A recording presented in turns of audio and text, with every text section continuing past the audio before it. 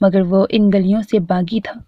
वैसे भी इन गलियों में मौत पहरे पर बैठी ऊँगती रहती, हर आहट पे जो कन्ना हो के झपटती थी। वो अपनी राइफल को कंधे पर एजाज की तरह टांगे, बालों में हाथ चलाता तेज तेज कदमों से आगे बढ़ रहा था। सिखों के वक्त से कायम ये गाँव अभी तक रामपुर के नाम से जाना जाता। वो रुक के आसमान तकने लगा, जहाँ बादल बरसने को तैयार खड़ा था। वो चौकन्ना हुआ। गली में बेहंगम कदमों की ताल पैदा हुई। वो अपनी राइफल को कंधे से उतार कर सीधे रुख करते हुए दबे पाँव गली में घुसा। नीम तारीख गली सुनसान सी थी। बस पाजेब की हल्की सी छन छन। उसने घोड़ा चढ़ाया। उंगली ट्रिगर पर मतवाजन की। नाल से चिमटी आँख को स्याह चादर का पल्लू नज़र आया। वो सीधा हुआ।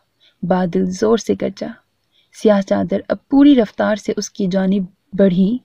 तो क्या वो लड़की है?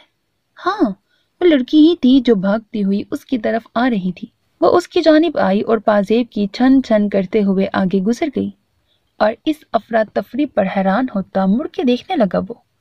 वो लड़की पक्की हवेली की बैरूनी दीवारों में बने खाली हिस्सों में एक की तरफ़ मुड़ गई तो वो सीधा हुआ।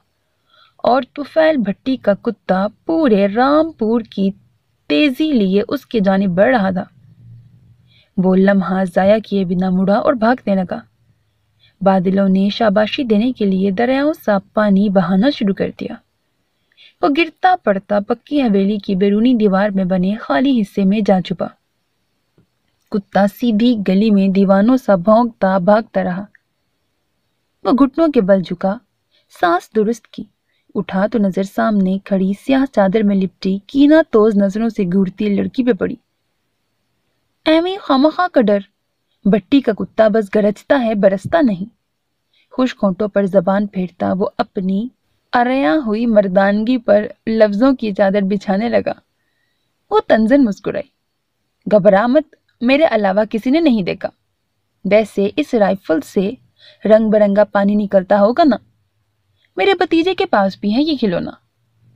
वो राजहंस से गर्दन उठाई मुड़ी। हवाओं ने अपनी रित को एड़ लगाई और हर रफ्तार को मात हुई।